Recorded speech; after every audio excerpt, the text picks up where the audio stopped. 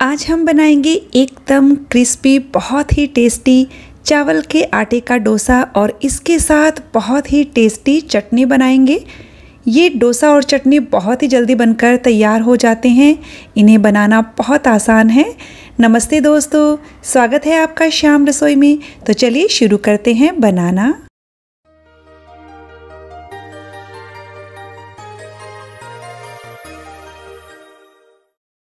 डोसा बनाने के लिए हम एक कप चावल का आटा लेंगे। हमने 250 सौ वाले कप से मेज़र किया है। दो टेबल स्पून सूजी लेंगे। दोनों चीज़ों को अच्छे से मिक्स कर दीजिए और अब हमने यहाँ सवा दो कप पानी लिया है। एक कप चावल का आटा और दो टेबल स्पून सूजी ली है। उसका पूरा डबल हमने पानी मिला दिया है।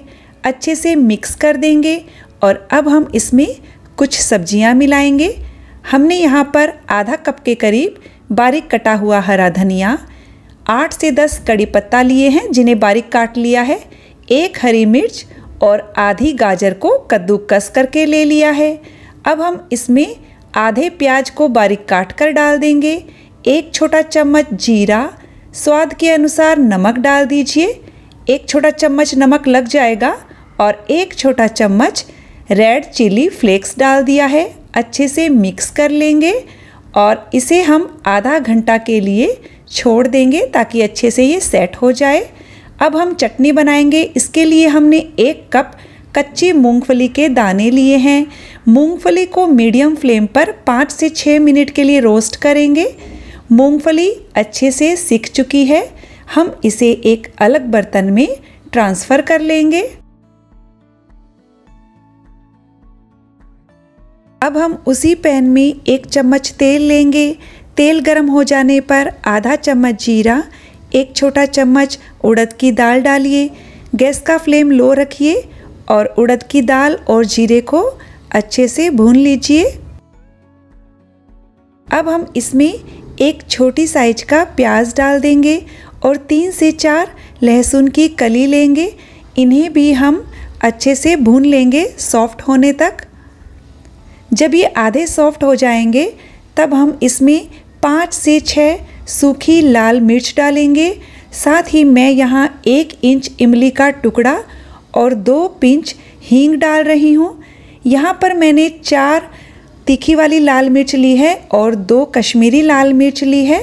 आप अपने अकॉर्डिंग लाल मिर्च इसमें डाल सकते हो। इन्हें भी हम भून लेते हैं दो मिनट के लिए। जब सारी चीज़ें अच्छे से भून जाएगी, गैस का फ्लेम बंद कर देंगे और ठंडा होने के बाद हम इसे मिक्सर के जार में डालकर पीसेंगे। अब हम मिक्सर का जार लेंगे, उसमें ये मूंगफली और ये मसाला डाल देते हैं। साथ ही स्वाद के अनुसार नमक डाल दीजिए और अब हम इसमें थोड़ा थोड़ा पानी डालकर पीस लेंगे। तो ज़रूरत के अकॉर्डिंग आप पानी डालते जाइए और इसे पीस लीजिए। हमने चटनी को पीस कर तैयार कर लिया है। और पूरा एक कप पानी लग गया है। अब हम तड़का लगाने के लिए तड़का पैन में एक चम्मच तेल लेंगे। इसमें हम एक चम्मच सरसों के दाने डालेंगे, इन्हें भून लेंगे।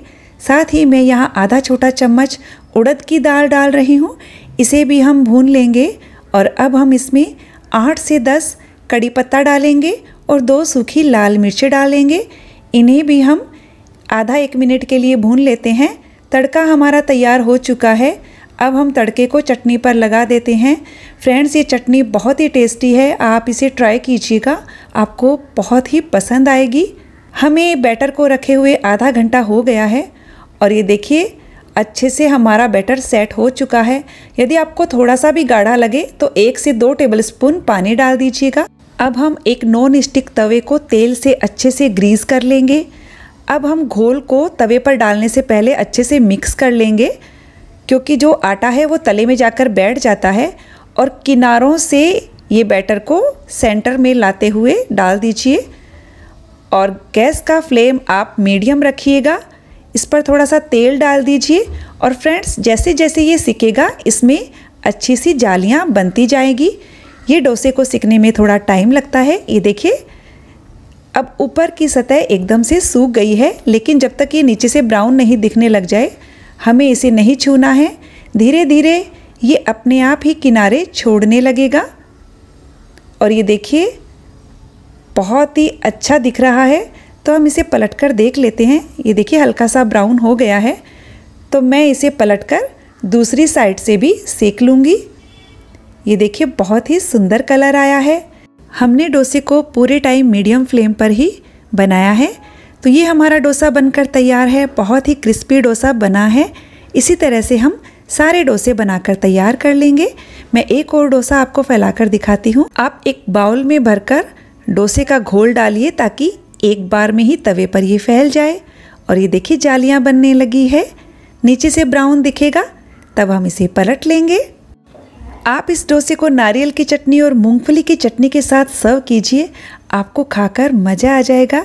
ये देखिए, हमारा ये बहुत ही क्रिस्पी डोसा बनकर तैयार है। तो फ्रेंड्स, यदि आपको रेसिपी अच्छी लगी तो वीडियो को लाइक, शेयर कर दीजिएगा। चैनल को सब्सक्राइब करने के साथ बेल आइकन प्रेस कर दीजिएगा, ताकि आने वाले वीडियो का नोटिफिकेशन आपको मिल सके।